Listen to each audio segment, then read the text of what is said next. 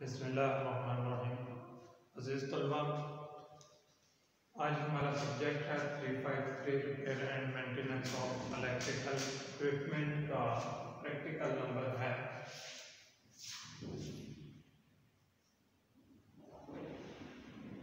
Seven study of ceiling fan आज हम ceiling fan के बारे में जो है वो प्रैक्टिकली पढ़ेंगे और देखेंगे। कि सीलिंग फ़ैन की अहमियत क्या है? और इसके अंदर कौन कौन से फॉल्ट आते हैं? और इसके अगर रिपेयर और मेंटेनेंस करनी पड़े तो इसका तरीकाकार क्या है? स्टडी ऑफ़ सीलिंग फ़ैन में हम जो है, वो छत वाले पंखे की बात करेंगे। पंखों की बहुत सारी टाइप्स हैं, जिनमें pedestal fan exhaust fan ceiling fan ये तीन जो हैं, वो कॉमन हैं, जो आमतौर पर यूज़ होते हैं। सीलिंग फ़ैन छत पर लगाया जाता है छत के ऊपर लटका कर या हैंग करके उसे किसी चीज़ से नीचे के एरिया में हवा लेने के लिए इस्तेमाल होता है। इसी तरह जो पेडिस्टल फ़ैन है, उसे हम फर्शी पंखा भी कहते हैं, उसे फर्श के ऊपर रख के किसी भी जगह पर हवा लेने के लिए हम मूवेबल पंखा है हमारा। तो यानी किसी भी जगह पर हम उसे रख के उसकी मदद से हम हवा लेने के लिए यूज़ करते हैं। इसी तरह टेबल फ़ैन आ जाता है कि छोटा सा फ़ैन होता है, किसी भी टेबल के ऊपर रख के आप उसे यूज़ कर सकते हैं। इसके बाद एक एग्जॉस्ट फ़ैन है। एग्जॉस्ट फ़ैन बेसिकली किसी भी रूम या किसी भी फैक्ट्री कारखाने इंडस्ट्रीज़ में, आमतौर पर वो वर्कशॉप्स में हाइट पर, दीवार की या जो छत की हाइट होती है, उसके करीब करीब उसको नस्ब किया जाता है ताकि कमरे के अंदर जितने भी गर्म हवा है, क्योंकि आप लोगों को पता है, जैसा कि आप लोगों ने मैट्रिक में पढ़ा कि हवा गर्म होने के बाद ऊपर की तरफ़ उठती है। जब ऊपर की तरफ़ उठती है तो एग्जॉस्ट फ़ैन जब चल रहा होता है, वो उसे उठवा के बाहर निकाल देता है। यानी रूम का टेम्परेचर हमें नॉर्मल करने या मेंटेन करने के लिए इस्तेमाल होता है। बाद जगह पे ऐसी भी जो है फैक्ट्रीज या इंडस्ट्रीज़ होती हैं, जहाँ धुआँ डस्ट वगैरह बहुत ज़्यादा होता है, हम उसे साथ साथ एग्जॉस्ट के ज़रिए एग्जॉस्ट कर देते हैं। यानी कि वर्कशॉप से या कमरे से या जिस जगह हम काम कर रहे हैं, उस जगह को हम साफ़ करने के लिए भी इन पंखों का इस्तेमाल करते हैं। तो इसके बाद हम बात करेंगे कि इनके अंदर फॉल्ट क्या क्या आते हैं। सबसे पहले जो सीलिंग फ़ैन के अंदर जो फॉल्ट आते हैं, वो मैं आपको बता दूँ कि सबसे पहले इसका कैपेसिटर का फॉल्ट आता है। कैपेसिटर इनके लगातार चलने की वजह से फॉल्टी हो जाते हैं अक्सर। और उन कैपेसिटर के फॉल्टी होने की पहचान क्या होती है? अक्सर हमारे कैपेसिटर डी शेप हो जाते हैं, जिसकी वजह से हमें पता चलता है कि ये खराब हो गया। इसके बाद एक सीलिंग फ़ैन के साथ चीज़ यूज़ होती है, जिसे हम डिमर कहते हैं।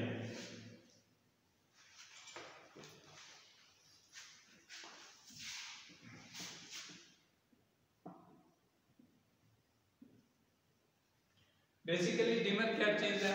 हम पंखे की स्पीड को कंट्रोल करने के लिए डिमर जो है, वो भी पंखे की स्पीड को कंट्रोल करने के लिए यूज़ होता है। यानी कि डिमर को हम यूज़ करते हैं उसकी स्पीड कंट्रोल करने के लिए। और जब से हमने यूपीएस इस्तेमाल करने शुरू किए हैं डिमर के अंदर फॉल्ट बहुत ज़्यादा आता है। यानी कि फ़र्स्ट टाइम पे जब भी आपने कोई उसके सबसे पहले आपने डिमर चेक कर लें कैपेसिटर चेक कर लें। अगर ये दो चीज़ें उनकी ओके हैं, फिर इसके अंदर जो प्रॉब्लम आएगा जो फॉल्ट आएगा, वो वाइंडिंग का होगा। फिर हम वाइंडिंग को चेक करेंगे। और वाइंडिंग को चेक करने का तरीका कार ये होता है कि सीरीज़ टेस्ट लैंप से हम उसकी वाइंडिंग को चेक कर सकते हैं। अब इसी तरह हम बात करते हैं कि जो आमतौर पर पंखे सीलिंग फ़ैन इस्तेमाल होते हैं, उनका साइज़ क्या होता है? छत्तीस इंच का, अड़तालीस इंच और छप्पन इंच। सबसे ज़्यादा जो पंखा यूज़ होता है वो ये यूज़ होता है। सबसे ज़्यादा आमतौर पर जो स्टैंडर्ड साइज़ के पंखे यूज़ हो रहे हैं, वो छप्पन इंच का पंखा यूज़ होता है। और अगर पाकिस्तान के हवाले से बात की जाए कि कंपनी के लिहाज से कौन से पंखे अच्छे होते हैं कंपनी के लिहाज से कॉपर वाइंडिंग में जो पंखा होगा, वो पंखा अच्छा होगा। उसमें जो ज़्यादा चल रहे हैं, पाक फ़ैन के नाम से जीएफसी फ़ैन और इसी तरह परवाज फ़ैन ये पंखे टॉप ऑफ़ द क्वालिटी में आते हैं, या ये ऐसे पंखे हैं, पाक फ़ैन खास तौर पे। इनके बारे में सुनने में आता है कि और इस्तेमाल करने पर भी कि इनके अंदर ना तो आवाज़ का प्रॉब्लम आता है और ना ही शोर का ना ही इसके अंदर जो है वो हवा की कमी का इशू आता है। यानी कि जब भी कोई पंखा खरीदें तो किसी स्टैंडर्ड कंपनी का खरीदना चाहिए। इनके वाट के हवाले से बात करें तो छप्पन इंच का पंखा तकरीबन 75 टू 80 वाट जो है वो यूज़ करता है।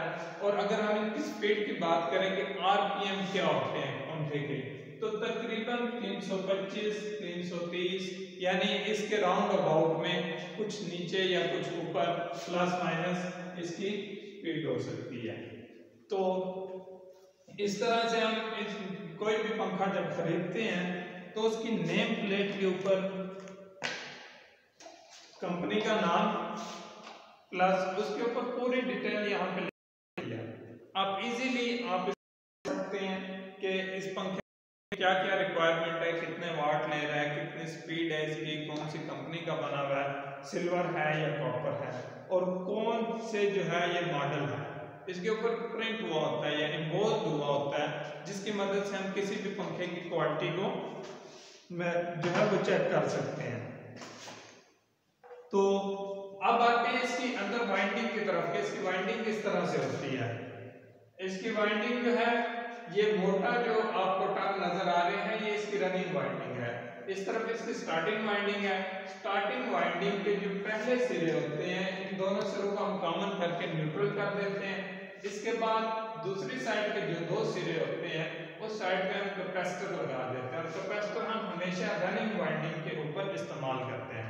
अगर हम स्टार्टिंग वाइंडिंग के ऊपर कैपेसिटर इस्तेमाल करते हैं तो हमारी वाइंडिंग बहुत ज़्यादा जल जाती है। जलने के चांस बहुत ज़्यादा बढ़ जाते हैं। तो ये सिंपल सी बिल्कुल डायग्राम है। नेक्स्ट हम जो है प्रैक्टिकल में, इसी जो है जो हमने ये पढ़ा है, इसको हम फिजिकली पंखे को खोलेंगे, पंखे को खोलने का तरीका कार, उसके अंदर वाइंडिंग की टाइप या वाइंडिंग का डिज़ाइन ये हम डिस्कस करेंगे। यहाँ तक अगर किसी स्टूडेंट को कोई बात समझ ना आई हो तो आप जो है वो कमेंट बॉक्स में सीलिंग फ़ैन के हवाले से कोई भी प्रॉब्लम हो तो आप पूछ सकते हैं। Thank you Allah Hafiz.